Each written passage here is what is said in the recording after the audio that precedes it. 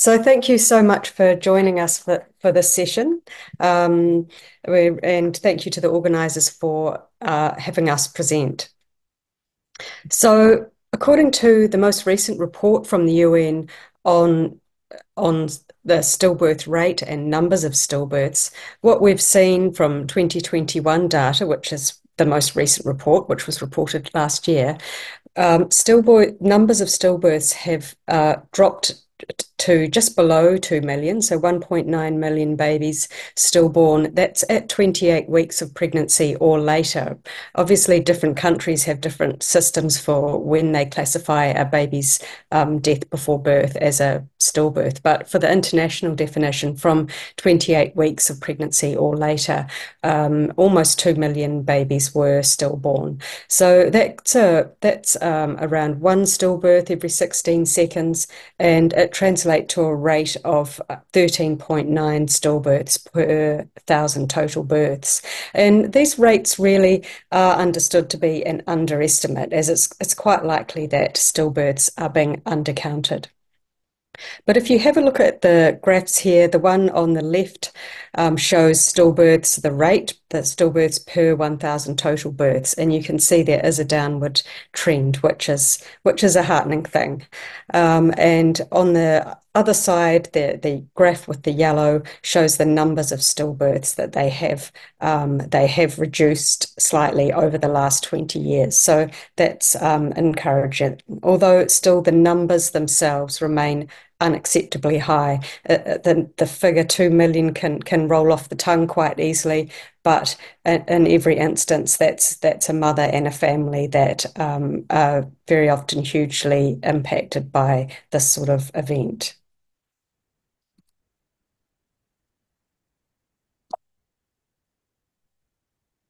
What this um, report also reveals is that there's um, huge differences in stillbirth rates across the globe, um, with a risk that's 20 times higher in the country with the highest stillbirth rate compared to the country with the lowest stillbirth rate. So these these um, events are not um, the, the burden is not equally shared amongst different countries in the world. In fact, most stillbirths were concentrated in a few countries, with the, the greatest number found in India, followed by Pakistan, Nigeria, the Democratic Republic of the Congo, Ethiopia, and Bangladesh. And, and these six countries accounted for almost half of the estimated global number of stillbirths in just six countries. Um, but they accounted for 36% of the global live births in 2021. So it's not just about population numbers, that the rate is, is very high indeed. And so there are, there are great challenges ahead if we want to reduce these high numbers globally. So this graph here, also from the um, from the UN Group for Child Mortality estimation, shows what could happen over the next 10 years. And the red line at the top there shows what stillbirth rates will look like between 2021 and 2030 if the numbers of stillbirths look like if the rates remain the same as they are today. So still a very unacceptably high number.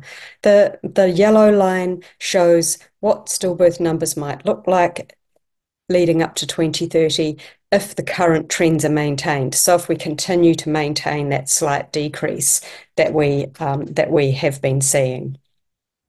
However, the, the blue line shows what things could look like if we were able to reach the um, every newborn action plan targets for 2030. So the, the yellow line really is, is not considerably lower than the red line, and it would just be fantastic if we could see a genuine downward trend like that's that's shown in the blue line.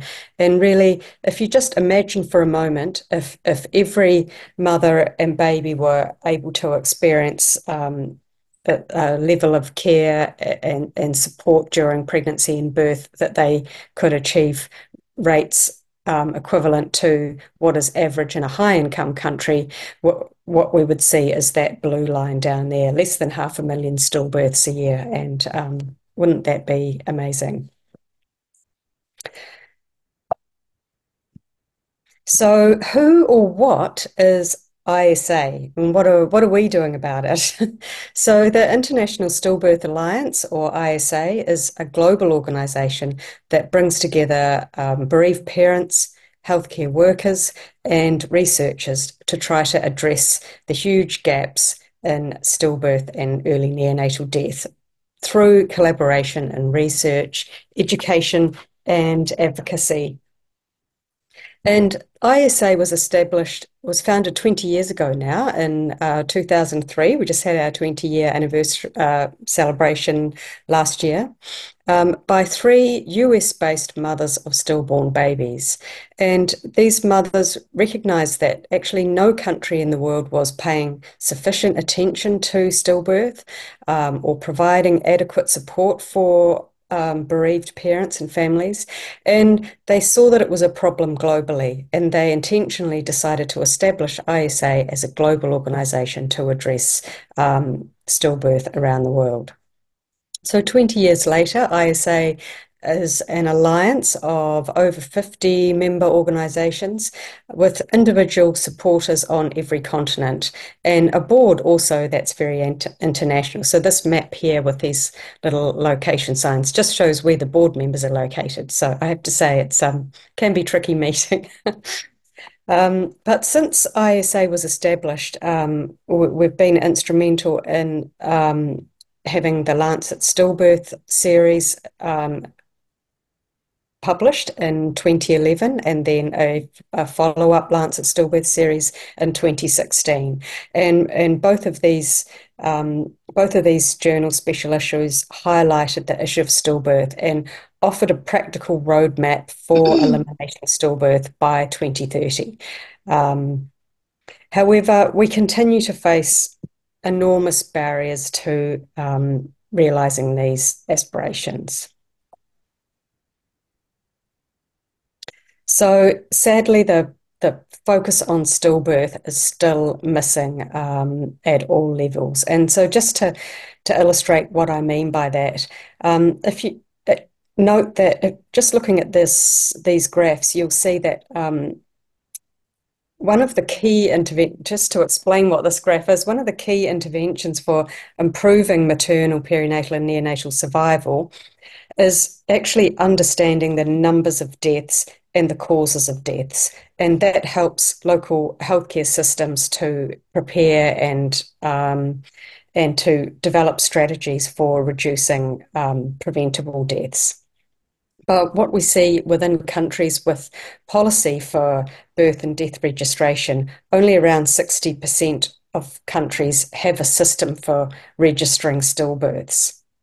And for those countries that do have system and systems in place for um, maternal and perinatal death and stillbirth registration, um, less than 60% are actually registering stillbirths. So this is um, this is a huge barrier to actually preventing stillbirths if you don't know how many are, occurring and, and what the what the contributing factors might be.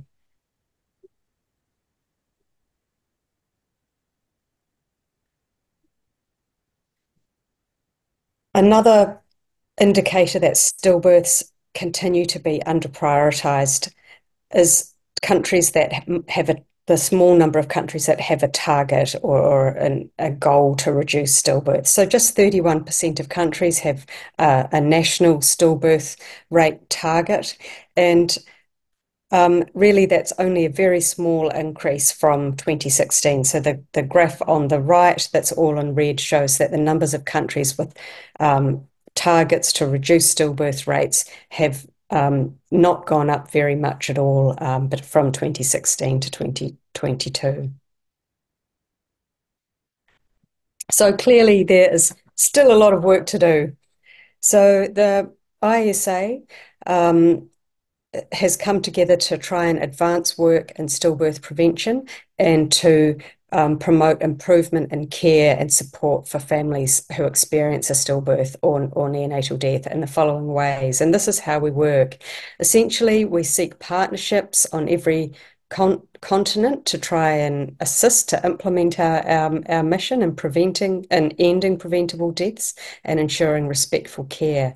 And we work through collaboration by bringing clinicians, researchers, and parents together globally um, to, to share our um, knowledge, to share high quality data, and to um, promote still promote efforts to reduce stillbirths.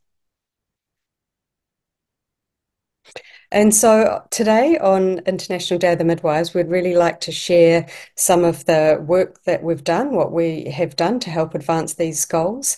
And there's some fantastic resources available that are free and easily adaptable to different country settings. And these include the um, a global um, guide for stillbirth advocacy that this can help um, different countries set up their own stillbirth advocacy. Um, toolkit advocacy toolkits for health providers and for parents.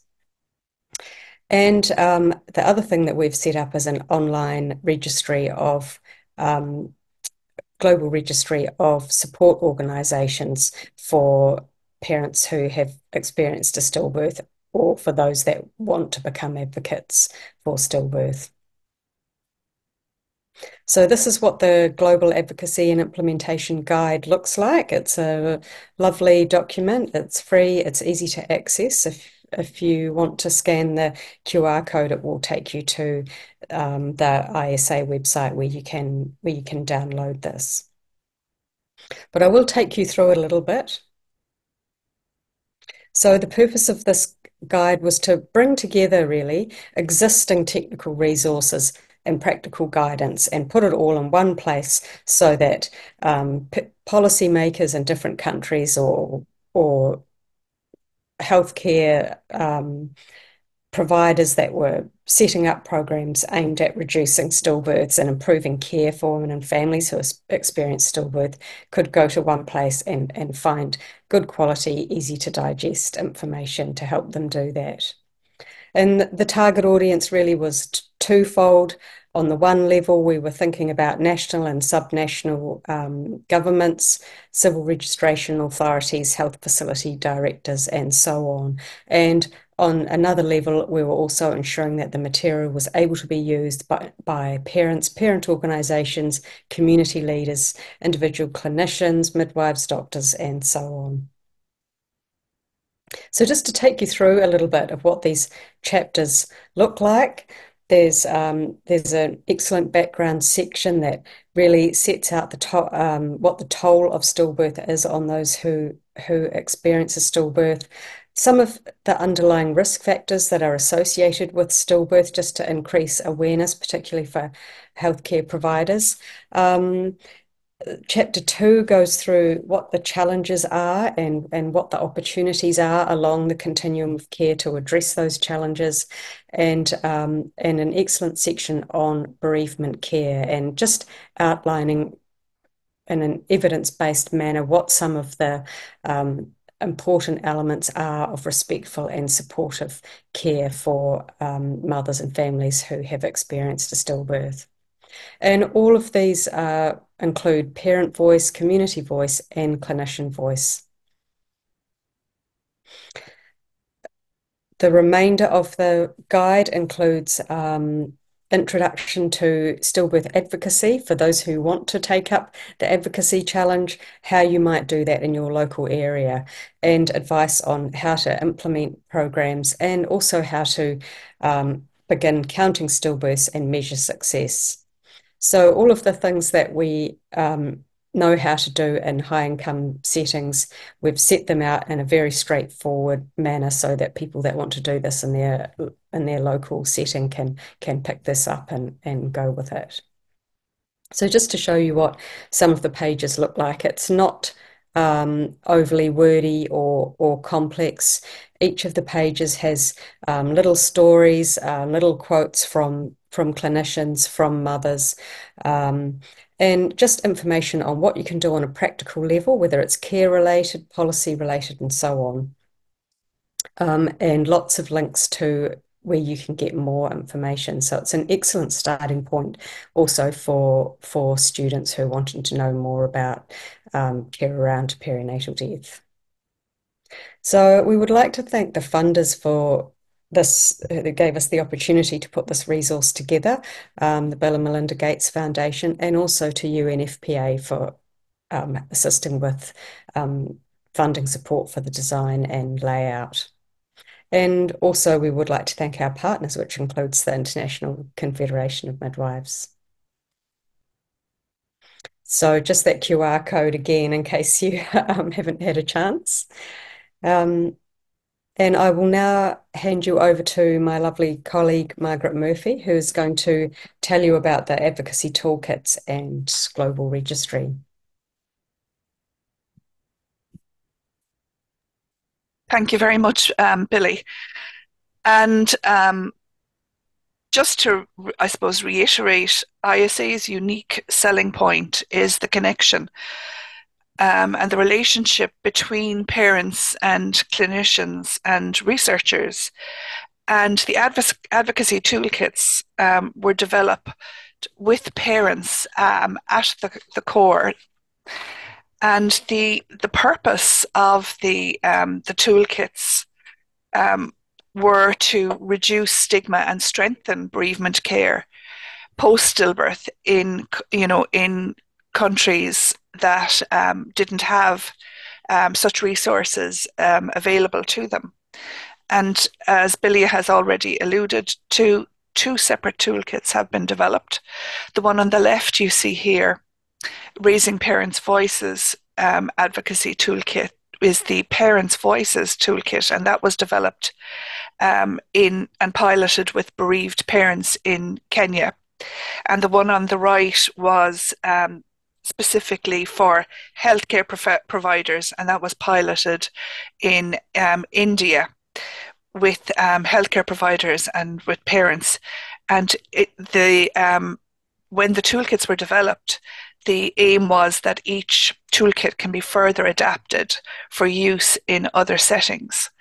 And the toolkits were launched in 2022 at the um, annual ISA conference in Utah.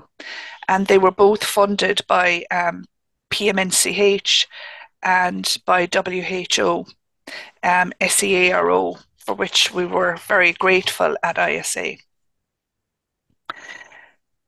So the toolkit for parents, the first um, toolkit, um, is um, developed for um, stillbirth parent support organisations, and it was um, aimed to introduce the concept and aims of advocacy related to stillbirth, and also to provide guidance um, and to support parents to learn about how to raise their voices to help ensure their views and needs are heard within their country's health um, goal setting agendas.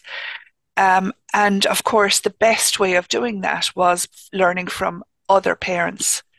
Um, and um, the parent voice is very very important.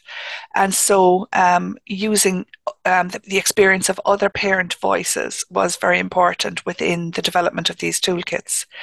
And this toolkit includes information on stillbirth itself the causes and the overviews and the risk factors the impact of stillbirth on parents advocacy as a tool for change in stillbirth prevention and ways of advocate, advocating for change in stillbirth prevention and bereavement care and coping strategies for advocacy related stress.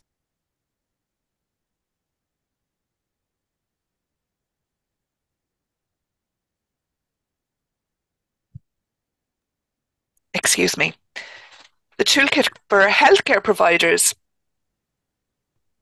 again is about raising awareness and educating women and their families about stillbirth so that we can advocate for increased resources for stillbirth bereavement support and to amplify the voices and the needs um, for um, stillbirth bereavement support and um, to amplify the voices and needs of affected parents with fellow providers related to stillbirth bereavement support.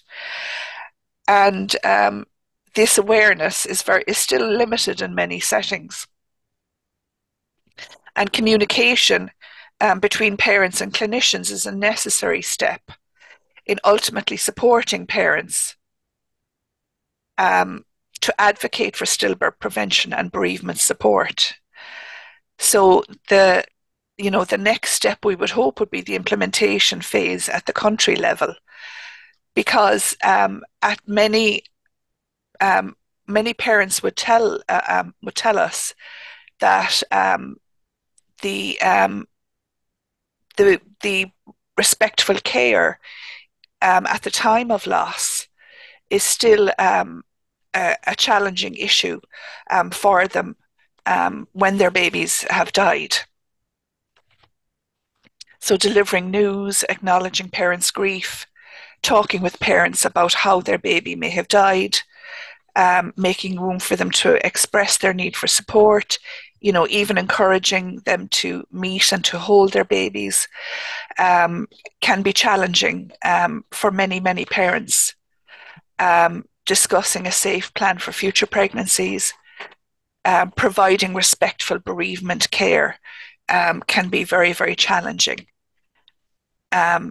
So, those kinds of issues need to be developed and they need to be culturally appropriate. Not every um, not every um, culture will have um, what will have the same um, will have the same um, cultural needs, and so that's why um, the um, the parents' voices are so important in terms of leading the way. Thank you, Billie. The, the third part is that Billie spoke about um, is the global registry. And the Global Registry um, is a, um, a very important, again, free um, um, area of stillbirth support that was developed by um, ISA to um, address gaps in respectful bereavement care by identifying organisations or individuals that provide support to parents and families following stillbirth. And to do that, um, the um, ISA developed um, a free resource whereby um, organisations can um, self nominate um, or essentially just register themselves so that they can be um, identified on the registry um, as a resource for parents, but also as um, um, a resource for other clinicians. Um, um, it can be, again, you can see the link there to the Stillbirth Alliance registry map, because there are challenges for clinicians and they, there are certain parts of the world that are poorly um, supported in terms of um, um, stillbirth support. So, um, it, and that was very clear when, when people started to um, self-nominate onto the, the stillbirth registry. Um, you can see that even from the, the screenshot there of the map, there were certain areas of the of the globe that were well supported and certain areas of the globe that were poorly supported. Um, so we're still encouraging people to um, to um, uh, you know to come and join the, the free global registry. So if you're if you're interested in your part of the world, I would encourage you to um, to join, you know, to come onto the ISA website to um, to join the ISA registry. It doesn't it doesn't cost any. Um, there's no cost, and um, you you know you may identify other like-minded um, individuals. Um, you may end up um, identifying people of support in in your area. So um, once the registry was up and running, um, the uh, uh, we, as part of ISA, we decided we would do a um, an online and snowball search of support that was provided by um, those um, those um, individuals and and groups that had registered with the registry. and we did an online survey and in-depth interviews with a subset of providers to really understand um, the challenges that they face and how these could be overcome. And what we found was the main findings, and you know these may not be a surprise to midwives working, um, you know, in in the area where things like stigma, stigma was still identified as a real challenge across all regions of the world. Um, the funding gap um, was frequently report, reported um, factors affecting the reach of support. So these were things like language, transport, referral systems, um, a lack of awareness um, of stillbirth at policy level. So that meant more training and education for healthcare workers, you know, was needed, and challenges with workforce. You know, midwives and um, obstetricians were often overworked or overburdened. And, you know, particularly um, peer support and supervision and training was needed on how to deal with grief and loss and bereavement. And there was a poor lack of ag- advocacy, particularly um, partnership and advocacy training. And of course, this is where the um, the toolkits would really be um, beneficial. Um, so potential solutions are um, available. Um, and investments in these solutions are, are now available to address the barriers and reduce inequalities across the across the globe. So, what did the global registry also um, tell us? Well, what what there were many supporters identified, 621 support providers across 75 countries. 510 organizations, 111 point persons, but big gaps in high burden settings. So, in the six countries that um, Billie identified with the highest stillbirth burden, we found only eight support providers six in India, two in Nigeria, none in China, Ethiopia, Pakistan, or in the Democratic Republic of the Congo. So, we we need to get the the word out there. I suppose perhaps there are. Um, perhaps there are support organizations out there um, because um, but maybe just the word isn't isn't getting out there um, the registry is live now on the isa website and it allows anyone in the world to identify the nearest stillbirth support organization um, or stillbirth support point person in countries where there, there are no listed organizations. Um, so, if you are a representative of such an organization, we hope that you will join the registry. There's no fee at all for joining, and access to the registry is free for all. Um, unsurprisingly, the largest number of support organisations was identified um, in the USA and across Europe, but we hope to we hope to change that. Um, the registry is an interactive map. Um, it's still undergoing tweaking and improvements, but it's available. Um, so if you are um, a support organisation and not part of the registry, please do contact us um, at registry at stillbirthalliance.org. Um, and all information is on um, our website at stillbirthalliance.org. Um, you can find out about all of these products and about everything else we do.